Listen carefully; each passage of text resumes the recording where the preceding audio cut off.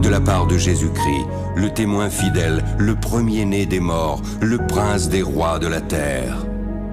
À celui qui nous aime, qui nous a délivrés de nos péchés par son sang, qui a fait de nous un royaume, oui, je viens bientôt. Que la grâce du Seigneur Jésus soit avec tous.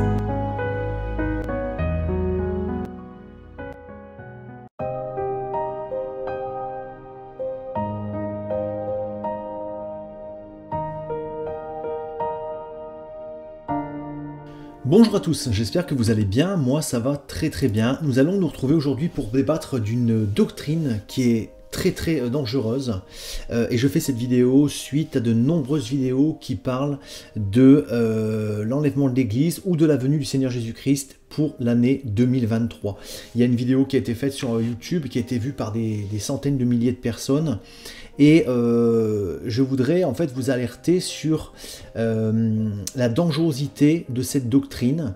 Euh, bon, alors bien sûr, ceux qui la font sont en totale bonne conscience et ne, font, ne pensent pas forcément au mal. Mais nous allons vraiment parler de la dangerosité de cette doctrine que l'on peut appeler la doctrine de l'imminence du retour ou la doctrine de l'imminence de l'enlèvement. C'est une doctrine qui est, on va dire aujourd'hui, largement prêché hein, dans beaucoup de milieux, euh, disant que le Seigneur Jésus-Christ peut revenir d'un jour à l'autre, euh, demain, voilà, euh, ou telle année. Et donc certains, certains frères font des vidéos annonçant par exemple tel jour, tel mois ou telle année pour le retour du Seigneur. Alors, nous allons vraiment parler de cette doctrine en détail et vous allez voir qu'en fait la dangerosité est quand même assez incroyable parce que j'ai pu l'expérimenter autour de moi. Donc alors en fait déjà il faut savoir une chose, c'est que la parole de Dieu nous dit bien que euh, personne ne connaît ni le jour ni l'heure. On ne peut pas savoir. Ça c'est une doctrine qui est euh, claire, nette et établie. On ne peut pas savoir quand le Seigneur revient. Cependant nous avons autour de nous des signes. Des signes dont Jésus a parlé, euh, des signes prophétiques, qui sont des prophéties qui ont été accomplies déjà et qui doivent encore s'accomplir, qui sont en cours d'accomplissement pour certaines. Et en fait, signes prophétiques, on peut en citer quelques-uns. Bah, les éruptions volcaniques, les bouleversements euh, climatiques, les bouleversements de la nature, euh, les famines, les pestes qui sont en nombre grandissant, la recrudescence des maladies. On peut parler également de l'inversion des valeurs, avec euh, une prolifération du péché de manière vraiment exponentielle sur l'ensemble de la planète. Hein. On peut parler de voilà de toutes ces choses. On peut parler également d'Israël qui a fait donc son retour sur la terre promise après plus de 2500 ans d'exil. Euh, et on peut parler également de la préparation de Gog et Magog, euh, cette grande guerre qui doit avoir lieu avec tout ce qui se passe notamment actuellement avec la Russie. Donc en fait, il faut bien comprendre une chose, c'est que nous vivons prophétiquement la période de la fin des temps. Ça, c'est une vérité, c'est un fait accompli. Euh, on sait que le Seigneur revient bientôt. Il revient donc, comme la traduction originale n'est pas je reviens bientôt, mais je reviens soudainement. Donc le Seigneur reviendra à un moment, on ne va pas s'y attendre. Et cette phrase du Seigneur Jésus-Christ qui dit euh, donc je reviens bientôt, qui a été entre guillemets mal traduite lorsqu'on prend le grec antique, on voit bien euh, que cette phrase dit je reviendrai soudainement. Et en fait, on sait que euh, que son retour va se faire un moment, on va pas s'y attendre. Parce que la Bible nous dit que de deux hommes qui seront dans un lit, l'un sera pris, l'autre sera laissé. De, euh, de, pardon, de deux personnes dans un lit, l'un sera pris, l'autre sera laissé. De deux hommes qui seront dans un champ en train de travailler ensemble, l'un sera pris, l'autre sera laissé. Également, on parle également de deux femmes qui seraient en train de moudre, euh, l'une sera prise, l'autre sera laissée. Donc on voit que sur cette terre, parfois, chaque jour, des gens dorment et des gens travaillent, parce que nous n'avons pas le même cycle de jour-nuit. Donc on sait qu'il y a une partie des gens qui seront en train de dormir au moment de l'enlèvement de l'église, on a d'autres personnes qui seront en train de travailler, hein. et on sait que ça peut arriver euh, à un moment où l'ensemble des prophéties sera accompli. On ne peut pas, le Seigneur ne peut pas revenir avant que tout ne soit accompli prophétiquement parlant. On sait aujourd'hui que, on va dire, la plus grande majorité est accomplie, il reste quelques petites euh, prophéties qui doivent encore s'accomplir, qui sont donc en cours d'accomplissement. Donc c'est vrai que nous devons veiller. Mais en fait, nous devons faire attention parce que les plus jeunes dans la foi euh, peuvent être amenés, également, voilà, ceux qui démarrent dans la foi, hein, à se poser des questions sur le fait que, ben, premièrement, ça fait 2000 ans qu'on dit que le Seigneur revient bientôt. Donc euh, c'est quelque chose qui, euh, a été annoncé dans les siècles et des siècles. Et donc, euh, certains se posent la question de savoir pourquoi le Seigneur n'est pas encore revenu. Donc ça, c'est la première chose. La deuxième chose, c'est que ça peut emmener également d'autres prophéties qui sont très mauvaises à se mettre en place, comme notamment, notamment l'apostasie. Donc l'abandon de la foi. Ça peut amener des gens à se dire, bon bah regardez là en 2020 on l'a annoncé, 2021 on l'a annoncé, 2022 on l'a annoncé, il n'est toujours pas revenu. En fait chaque année des gens font des vidéos et en fait le Seigneur ne revient jamais. Donc nous devons faire attention avec les dates. Hein. Euh, bien sûr, ces gens-là ne sont pas dans une mauvaise conscience, c'est-à-dire qu'ils font vraiment ces vidéos avec une espérance qui est bonne. Hein. Ça, il faut bien le comprendre. Mais nous devons faire attention quand on annonce des dates, en fait. Parce que vraiment, euh, ça sème le doute sur le retour de Jésus également. Donc les, gens se disent, bon, au final, le Seigneur reviendra jamais, quoi. Et ça emmène aussi les gens dans cette, euh, cette prophétie dont le Seigneur en avait parlé dans sa parole, cette prophétie qui nous dit quoi? Que euh, à la fin des temps, certains diront où est la promesse de son avènement? Alors votre Dieu ne devait-il pas revenir cette année? Regardez, encore une fois, on s'est trompé, encore une fois, c'est n'importe quoi. Vous vous rendez compte, vous êtes dans une religion, c'est n'importe quoi. Jésus ne reviendra pas. Donc vous voyez, il y a des gens qui vont se servir de ce genre de vidéo pour dire que c'est de la foutaise, en fait, tout simplement. Hein. Et on a aussi les païens, les athées, euh, notamment, rappelez-vous bien, 2010-2012, ça a été des prophéties de Nostradamus qui ont annoncé la fin des temps, alors que euh, c'est du grand n'importe quoi. On a aussi Paco. Enfin voilà, on avait des gens qui ont dit, euh, suivant le calendrier Maya, qui sont des calendriers d'idolâtres, disant que voilà, la fin du monde va arriver à cette date. Et en fait, ça discrédite complètement le Seigneur, ça discrédite le retour de Jésus-Christ, alors que les anges ont dit clairement, voyez ce Jésus que vous voyez monter au ciel, ce Jésus reviendra de la même façon qu'il est monté, mais cette fois-ci en descendant bien sûr. Donc, chers frères et sœurs, nous devons être prudents sur les dates que nous avançons. Comme je vous disais, les gens qui font ce genre de vidéos sont des gens qui sont vraiment dans un bon état d'esprit. Ils se servent parfois de, calculs mathématiques, ils se servent euh, du chiffre 7 qui est le chiffre de Dieu, également des fêtes juives. Et voilà, donc ils font des, des calculs mathématiques qui sont vraiment parfois très complexes et très poussés qui sont très séduisants également, parce que j'ai écouté ces, vidéos, hein. euh, il y a une possibilité que le Seigneur revienne dans les années qui vont suivre, voire les mois. Mais nous ne devons pas avancer de date, chers frères et sœurs. C'est vraiment important parce que, en fait, ça peut créer une fausse espérance. Hein.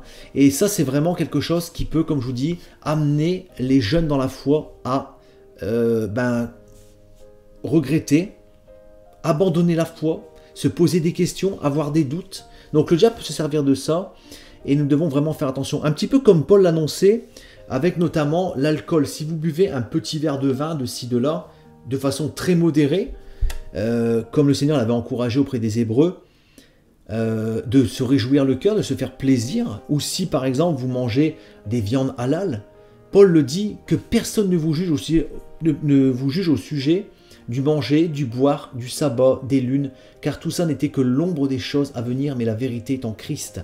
Donc nous devons faire attention à, comme Paul le disait, aux nouveaux qui arrivent, parce qu'en fait, nous ne devons pas être pour eux un objet de scandale. Et nous devons faire attention avec les genres de vidéos que nous mettons en ligne, notamment ceux qui enseignent. C'est très très important. Euh, parce que ben voilà, ceux qui démarrent peuvent se poser des questions et aussi on peut donner des armes à ceux qui ne sont pas dans la foi, notamment un discrédit total sur le retour du Seigneur, sur l'enlèvement de l'Église. Donc, comme je vous disais en début vidéo, quand la Bible nous dit le Seigneur Jésus revient bientôt, c'est pas bientôt dans le sens, voilà, demain ou c'est le Seigneur revient soudainement. Donc vraiment, à un moment, comme je vous disais, on ne va pas s'y attendre. Donc nous, devons, nous ne devons pas non plus attendre les signes, les signes de, de telle ou telle chose qui doivent arriver pour se préparer. Parce que le Seigneur regarde l'entièreté de votre vie au moment d'enlèvement de l'Église. Il ne va pas regarder, ah, lui, il s'est préparé, donc c'est bon, il est pris. Lui, c'est validé. Non. Le Seigneur regarde votre réelle conversion, l'état de votre cœur, l'état de votre vie.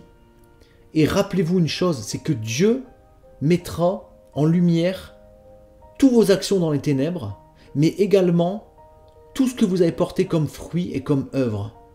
Donc, euh, quelqu'un qui, par exemple, est dans une oisiveté la plus totale, ne travaille pas pour le Seigneur, ne prie pas, ne lit pas sa Bible, ne, voilà, ne fait pas la volonté de Dieu, euh, ne pourra pas être enlevé parce que sa vie n'est pas en règle réellement. Et c'est un chrétien froid, voire même tiède.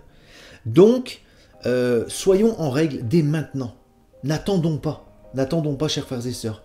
Imaginez demain, si les apôtres étaient sur cette terre encore avec nous, est-ce qu'ils attendraient vraiment qu'il y ait des signes qui s'accomplissent pour se préparer? Non. Notre foi se vit quotidiennement. Nous devons laisser le Seigneur nous transformer quotidiennement également.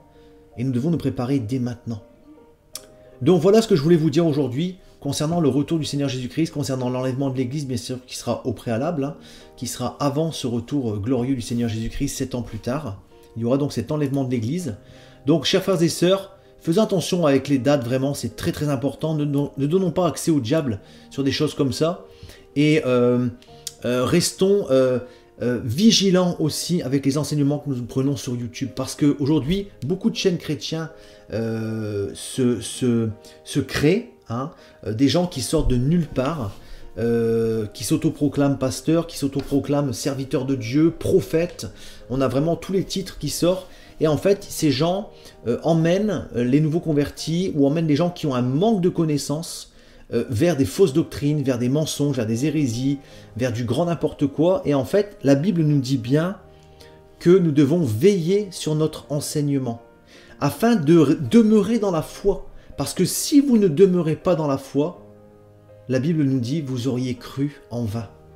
Donc vous imaginez, on peut croire en vain, on peut ne pas être sauvé à cause justement de fausses doctrines, si on ne demeure pas dans la sainte doctrine du Seigneur Jésus-Christ. Voilà pourquoi, dès le départ de ma conversion, j'ai toujours mis le point d'honneur à veiller sur mon enseignement et à veiller sur ce que je dis sur YouTube. Parce que je ne veux pas me mettre à défaut avec le Seigneur, surtout que ceux qui enseignent seront jugés deux fois plus sévèrement, et je veux vous permettre de grandir correctement. J'ai quitté une assemblée parce que, malheureusement, quelqu'un enseignait des hérésies, des fausses doctrines, arrangeait un petit peu la Bible à sa façon. Et euh, bien sûr, euh, il répondra de ça devant le Seigneur. Je lui ai pardonné. Euh, c'était un enseignant avec moi-même. Donc c'est pour ça que je suis parti. Parce que aussi, malheureusement, il était tombé dans une forme d'orgueil. Il avait bien changé depuis le départ où on l'avait connu. Et je n'ai pas réussi à lui faire entendre raison. Mais Dieu m'a montré à de nombreuses reprises, mais vraiment à de nombreuses reprises, que sur plusieurs enseignements, il s'était trompé. Hein. Donc euh, vraiment, nous devons euh, rester humbles, rester humbles les, amis. Vraiment, chers frères et sœurs, restez humbles. C'est très très important. L'humilité et la recherche de Dieu permanente par la lecture, par euh, voilà des gens qui sont affermis dans la foi et qui s'accordent à rester sur la sainte doctrine et qui appuient toujours leur enseignement par il est écrit. C'est pour ça que vous voyez dans mes vidéos beaucoup d'enseignements sur il est écrit. Euh, je parle de quelque chose et je montre le verset. Je ne sors pas des, doctrines de ma tête, de ma propre conscience, de mes propres envies, mais uniquement de ce qui est marqué dans la parole de Dieu. Voilà, chers frères et sœurs, donc en tout cas, je n'ai pas la science infuse, mais j'essaye de prêcher des sujets que je maîtrise. Voilà, chers frères et sœurs, ce que je voulais vous dire aujourd'hui. Donc, euh, n'hésitez pas à me dire ce que vous avez pensé de cette vidéo. Euh, et euh, n'hésitez pas à liker, partager cette vidéo. Et euh, je vous dis donc, avec grand plaisir, à très bientôt pour une prochaine vidéo. Soyez bénis, je vous aime. Tout pouvoir m'a été donné dans le ciel et sur la terre. Il y a plusieurs demeures dans la maison de mon Père. Si cela n'était pas, je vous l'aurais dit. Je vais vous préparer une place. Et lorsque je m'en serai allé et que je vous aurai préparé une place, je reviendrai, et je vous prendrai avec moi, afin que là où je suis, vous y soyez aussi. Vous savez où je vais, et vous en savez le chemin. Je suis le chemin, la vérité et la vie. Nul ne vient au Père que par moi. Abraham, votre Père, a tressailli de joie de ce qu'il verrait mon jour. Il l'a vu, et il s'est réjoui. Si vous me connaissiez, vous connaîtriez aussi mon Père, et dès maintenant vous le connaissez, et vous l'avez vu. Et je vous le dis, avant qu'Abraham fût, je suis. Seigneur, montre-nous le Père, et cela nous suffit. Jésus lui dit, Il y a si longtemps que je suis avec vous, et tu ne m'as pas connu, Philippe. Celui qui m'a vu a vu le Père. Comment dis-tu, montre-nous le Père? Cette bonne nouvelle du royaume sera prêchée dans le monde entier pour servir de témoignage à toutes les nations. Celui qui croira et qui sera baptisé sera sauvé, mais celui qui ne croira pas sera condamné. Je m'étonne que vous vous détourniez si promptement de celui qui vous a appelé par la grâce de Christ pour passer à un autre évangile. Aucun mensonge ne vient de la vérité. Sinon celui qui nie que Jésus est le Christ, celui-là est l'antéchrist, qui nie le Père et le Fils. Quiconque nie le Fils n'a point non plus le Père. Quand un ange du ciel annoncerait un autre évangile que celui que nous vous avons prêché, qu'il soit anathème. Moi, Jésus, j'ai envoyé mon ange pour vous attester ces choses. Je le déclare à quiconque entend les paroles de la prophétie de ce livre. Si quelqu'un y ajoute quelque chose, Dieu le frappera des fléaux décrits dans ce livre. Et si quelqu'un retranche quelque chose des paroles du livre de cette prophétie, Dieu retranchera sa part de l'arbre de la vie et de la ville sainte décrits dans ce livre. Ces paroles sont certaines et véritables. Et le Seigneur, le Dieu des esprits des prophètes, a envoyé son ange pour montrer à ses serviteurs les choses qui doivent arriver bientôt. Et voici, je viens bientôt. Heureux celui qui garde les paroles de la prophétie de ce livre.